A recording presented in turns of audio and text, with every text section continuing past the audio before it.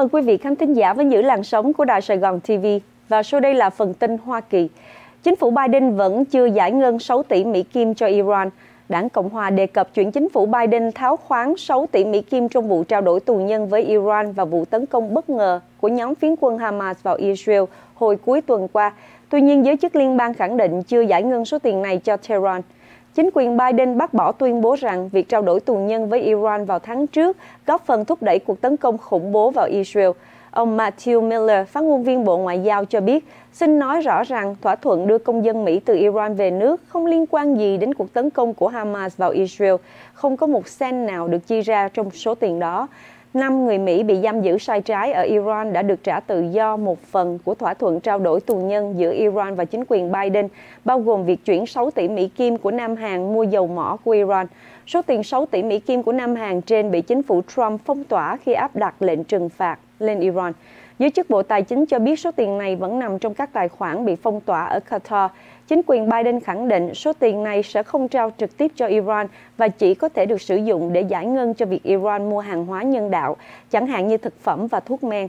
Một giới chức cấp cao của Bộ Ngoại giao nói rằng Iran sẽ mất nhiều tháng để nhận được số tiền này vì các bước thẩm định liên quan và sự phức tạp của những giao dịch nhân đạo qua cách này. Một thủy thủ Hoa Kỳ thừa nhận là đã bán thông tin mật cho phía Trung Quốc. Trong phiên tòa xét xử ở tại tòa liên bang ở California, thủy thủ tên là Wen Heng Zhao, một hạ sĩ quan hải quân đã thừa nhận rằng bán thông tin mật cho sĩ quan tình báo của Trung Quốc để nhận lấy 15.000 Mỹ Kim. Bộ Tư pháp Hoa Kỳ thông báo là Giao sẽ phải đối mặt với 5 năm tù vì tội cấu kết làm gián điệp và 15 năm về tội nhận hối lộ.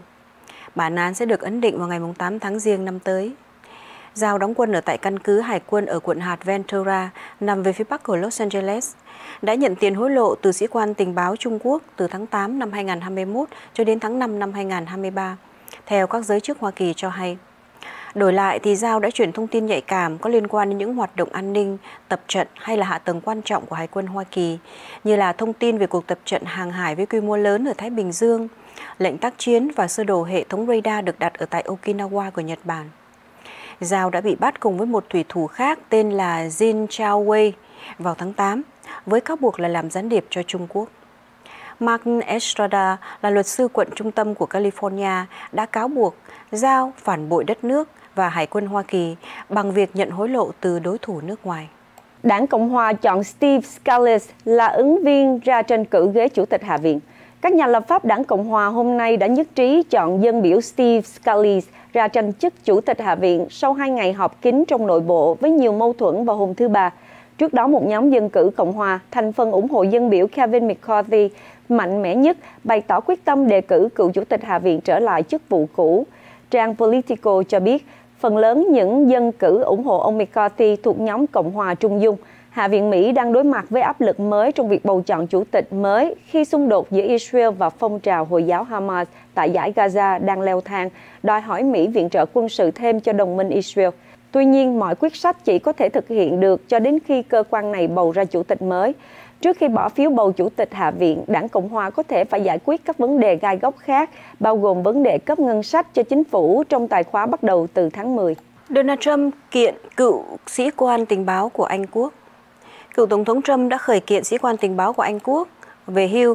Ông này là Christopher Steele, vốn là tác giả của tập tài liệu cáo buộc ông có quan hệ với Nga vào năm 2016. Đài RT đã dẫn lời các luật sư của ông Trump cho biết, ông Trump đã gửi một đơn kiện ông Steele lên tòa án ở London vào tháng trước.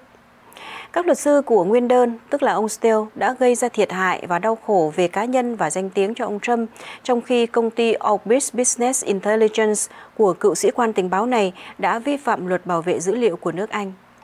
Đơn kiện xoay quanh tập tài liệu được gọi chung đó là hồ sơ Steele, do ông Steele cung cấp cho báo chí và được hãng thông tấn BuzzFeed đăng tải đầu tiên vào tháng Giêng của năm 2017, ngay trước khi Donald Trump tuyên thệ nhậm chức Tổng thống Hoa Kỳ. Đảng Dân Chủ của nước Mỹ cũng buộc tội về việc ông Trump chiến thắng trước đối thủ Hillary Clinton trong cuộc bầu cử Tổng thống năm 2016 là nhờ có sự can thiệp của Nga. Mặc dù hầu hết các cơ quan truyền thông và nhiều chính khách của Đảng Dân Chủ nói rằng hồ sơ Steele đã tố tội ông Trump, nhưng các cuộc điều tra của nhà chức trách Hoa Kỳ sau đó kết luận là không có đủ bằng chứng để buộc tội Donald Trump có quan hệ với Nga. Báo New York Times cho biết, thẩm phán tòa án tối cao của Anh Quốc là Matthew Nicklin sẽ mở ra phiên xét xử kể từ ngày 16 tháng 10 tới đây. Hai nhân chứng nổi tiếng sẽ làm chứng trong phiên tòa can thiệp bầu cử ở Georgia.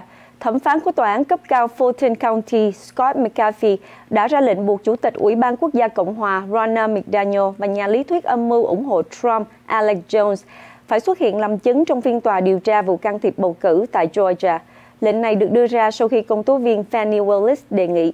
Thẩm phán xác định cả McDaniel và Jones đều là những nhân chứng quan trọng và cần thiết cho phiên tòa này. Họ sẽ phải có mặt và trả lời câu hỏi theo các tài liệu tòa án. McDaniel đang đứng giữa một cuộc đua tranh gian nan cho vị trí ứng viên tổng thống từ đảng Cộng Hòa trong bầu cử 2024. McAfee ghi chú rằng McDaniel có thông tin đặc biệt về giao tiếp giữa bà và Trump, cũng như giữa bà và John Eastman về âm mưu làm cho một số người giả mạo mình là ủy viên bầu cử hợp pháp sau bầu cử năm 2020. Trump và Eastman cũng đã bị buộc tội và đã bác bỏ mọi cáo buộc. Jones, một nhà thuyết âm mưu nổi tiếng, đã tổ chức một cuộc một cuộc biểu tình trên khuôn viên Quốc hội Hoa Kỳ trong ngày 6 tháng Giêng năm 2021 nhưng không vào trong tòa nhà. Các công tố viên thông báo với thẩm phán rằng có đoạn video cho thấy Cheesebro biểu tình gần Quốc hội cùng với Jones. Lệnh của McAfee sẽ được gửi đến các tòa án địa phương nơi McDaniel và Jones cư trú và các thẩm phán tại những khu vực đó sẽ phát hành một lệnh triệu tập chính thức yêu cầu họ làm chứng tại Georgia. Văn phòng Ngân sách Quốc hội thông báo là thâm hụt ngân sách của Mỹ trong năm tài chính 2023 kết thúc vào ngày 30 tháng 9 vừa rồi đã lên đến là 1.700 tỷ Mỹ Kim trong bối cảnh lãi suất tăng cao. Con số này cao hơn 300 tỷ so với mức thâm hụt của năm tài chính 2022. Nguyên nhân khiến cho thâm hụt ngân sách của Hoa Kỳ phình to được cho là doanh thu giảm và chi tiêu gia tăng, chủ yếu là cho các chương trình trọng điểm và trả lãi cho các khoản nợ công. Cụ thể, trong tài khoá 2023, chi tiêu bắt buộc cho các chương trình có quy mô lớn nhất của Mỹ, trong đó có an sinh xã hội, Medicare và Medicaid, đã tăng tới 285 tỷ Mỹ Kim, tương đương với 11%. Trong khi đó, thì các khoản chi trả lãi suất của nợ công tăng thêm 177 tỷ, tương đương với 33%, do lãi suất tăng đáng kể so với tài khoá năm trước.